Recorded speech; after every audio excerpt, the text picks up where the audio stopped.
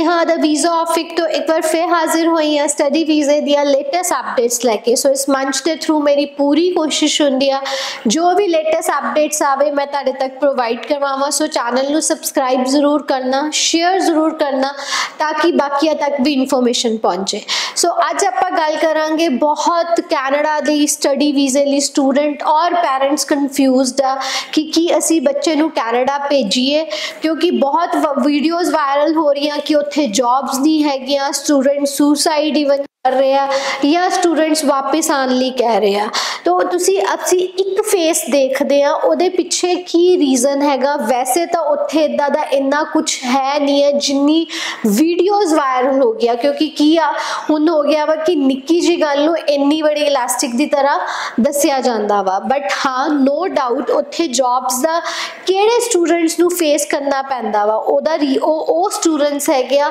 ਜਿਹੜੇ ਪਲੱਸ 2 ਤੋਂ ਬਾਅਦ ਜਾਂਦੇ ਆ, ਉੱਥੇ ਡਿਪਲੋਮਾ ਡਿਪਲੋਮਾ ਕਰਦੇ ਆ, ਕਿਉਂਕਿ ਸਟੂਡੈਂਟ ਨੂੰ ਇਹ ਹੁੰਦਾ ਹੈ ਕਿ ਮੈਂ ਡਿਪਲੋਮਾ ਲੈਣਾ ਮੈਂ ਸਿਰਫ ਕੈਨੇਡਾ ਦੇ ਵਿੱਚ ਇਨ ਕਰਨਾ ਹੈ। ਬਟ ਅਗਰ ਤੁਸੀਂ ਵਾਕਈ ਆਪਣੇ ਸਟੂਡੈਂਟਸ ਦੀ ਉੱਥੇ ਇੱਕ ਅੱਛੀ ਸੈਟਲਮੈਂਟ ਚਾਹੁੰਦੇ ਆ ਤਾਂ ਮੈਂ ਇਹੀ ਗਾਈਡ ਕਰੂੰਗੀ ਤੁਸੀਂ ਉਹਨੂੰ ਡਿਗਰੀ ਪ੍ਰੋਗਰਾਮਸ 'ਚ ਭੇਜਿਆ ਕਰੋ ਕਿਉਂਕਿ ਜਦੋਂ ਅਸੀਂ ਕਿਸੇ ਅੱਛੀ ਕੰਟਰੀ ਦੀ ਇੱਕ ਡਿਗਰੀ ਹੋਲਡ ਕੀਤੀ ਆ ਡਿਗਰੀ ਕੀਤੀ ਆ ਤਾਂ ਸਾਨੂੰ ਜੌਬਸ ਦੀ ਜਿਹੜੀ ਉਹਦੀਆਂ ਹੀ ਸਾਨੂੰ ਜੌਬਸ ਅੱਛੀਆਂ ਮਿਲਣਗੀਆਂ ਸੋ ਜਿਹੜਾ ਬੱਚਾ ਉਹਨੇ ਇੱਕ ਲੈਵਲ ਤੇ ਜਾਂਦਾ ਵਾ ਲੇਬਰ ਲਈ ਉਹਨੂੰ ਮੁਸ਼ਕਿਲ ਹੁੰਦੀ ਆ ਨੋ ਡਾਊਟ ਹਰ ਬੱਚਾ ਪਹਿਲੇ ਫੀਸਿਸ ਕੱਢਣ ਲਈ ਇਹ ਸਭ ਕਰਦਾ ਹੈ ਬਟ ਹਾਂ ਥੋੜਾ ਜਿਹਾ ਹਾਰਡ ਟਾਈਮ ਰਹਿੰਦਾ ਹੈ ਬਟ ਆਫਟਰ ਦੈਟ ਉਹਦਾ ਫਿਊਚਰ ਹੈਗਾ। ਸੋ ਇਦਾਂ ਦਾ ਕੁਝ ਵੀ ਨਹੀਂ ਹੈ ਕੈਨੇਡਾ ਦੇ ਵਿੱਚ। ਬਾਕੀ ਡਿਪੈਂਡ ਕਰਦਾ ਹੈ ਸਟੂਡੈਂਟ ਟੂ ਸਟੂਡੈਂਟ ਮੈਂ ਕਿਸੇ ਪਰਸਨਲੀ ਨਹੀਂ ਕਹਿੰਦੀ ਕਿਉਂਕਿ ਹੁਣ ਕੀ ਹੈਗਾ ਕਿ ਅਸੀਂ ਆਪਣੇ ਬੱਚਿਆਂ ਨੂੰ ਬਹੁਤ ਕੰਫਰਟ ਜ਼ੋਨ ਦੇ ਵਿੱਚ ਪਾਲਦੇ ਆ ਤਾਂ ਉਹਦੇ ਕਰਕੇ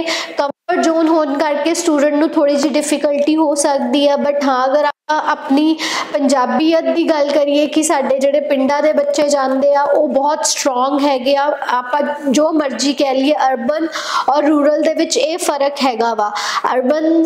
ਏਰੀਆ ਦੇ ਜਿਹੜੇ ਬੱਚੇ ਹੈਗੇ ਉਹ ਥੋੜੇ ਕੰਫਰਟ ਜ਼ੋਨ 'ਚ ਜ਼ਿਆਦਾ ਪਲੇ ਆ ਬਟ ਹਾਂ ਜਿਹੜਾ ਰੂਰਲ ਆ, ਉਹ ਜਿਹੜੀ ਕਮਿਊਨਿਟੀ ਹੈਗੀ ਆ, ਮੈਂ ਉਹਨੂੰ ਕਹੂੰਗੀ, ਉਹ ਬਹੁਤ ਸਟਰੋਂਗ ਹੈਗੀ ਆ, ਬਹੁਤ ਮਿਹਨਤ ਕਰਦੀ ਆ। ਸੋ ਇਦਾਂ ਦਾ ਕੁਝ ਵੀ ਨਹੀਂ ਹੈਗਾ it's depend upon student to student and ਮੈਂ ਹੀ ਕਹੂੰਗੀ ਕਿ ਅਗਰ ਤੁਸੀਂ ਉੱਥੇ ਸਟੂਡੈਂਟ ਨੂੰ ਭੇਜ ਰਹੇ ਹੋ, ਦੇਖੋ ਕੋਈ ਜਾਂ ਦੇਖੋ, ਇੱਕ ਬੱਚਾ ਬਹੁਤ ਇੰਟੈਲੀਜੈਂਟ ਹੈਗਾ ਵਾ, ਉਹਨੂੰ ਪ੍ਰੋਪਰ ਸਟੱਡੀਜ਼ ਹੀ ਕਰਵਾਓ। ਉਹਦੇ ਵਿੱਚ ਪੈਰੈਂਟਸ ਦਾ ਯੋਗਦਾਨ ਹੋਣਾ ਬਹੁਤ ਜ਼ਰੂਰੀ ਆ, ਉਹਨਾਂ ਦੀ moral support even financially also ਕਿਉਂਕਿ ਬੱਚੇ ਨੇ 3-4 ਸਾਲ ਦੀਆਂ ਫੀਸਾਂ ਕੱਢਣੀਆਂ ਵਾ। ਬਟ ਅਗਰ ਤੁਹਾਡਾ ਬੱਚਾ ਬਹੁਤ ਇੰਟੈਲੀਜੈਂਟ ਨਹੀਂ ਹੈਗਾ, ਤਾਂ ਉਹ ਬੱਚੇ ਲਈ ਮੈਂ ਕਹੂੰਗੀ, ਇੱਥੋਂ ਕੋਈ ਨਾ ਕੋਈ ਸਕਿੱਲ ਜ਼ਰੂਰ ਸਿੱਖ ਕੇ ਜਾਓ ਤਾਂ ਕਿ ਤੁਹਾਨੂੰ ਉੱਥੇ ਜਾ ਕੇ ਆਪਣੀਆਂ ਫੀਸਾਂ ਕੱਢਣ ਦੀ ਪ੍ਰੋਬਲਮ ਨਾ ਆਵੇ ਸੋ ਸਟਿਲ ਜਨਵਰੀ ਇਨਟੇਕ ਜਿਨ੍ਹਾਂ ਨੇ ਅਪਲਾਈ ਨਹੀਂ ਕੀਤਾ ਟਾਈਮ ਸਿਰ ਅਪਲਾਈ ਕਰੋ ਬਹੁਤ ਰਸ਼ ਹੋਣ ਵਾਲਾ ਵਾ ਕਿਉਂਕਿ ਅਗਰ 5.5 ਔਰ ਐਸਡੀਐਸ ਦੇ ਵਿੱਚ ਆ ਗਿਆ ਤਾਂ ਨੰਬਰ ਆਫ ਫਾਈਲਸ ਲੱਗਣੀਆਂ ਵਾ ਸੋ ਟਾਈਮ ਸਿਰ ਅਪਲਾਈ ਕਰੋ ਟਾਈਮ ਸਿਰ ਫਾਈਲ ਲਾਓ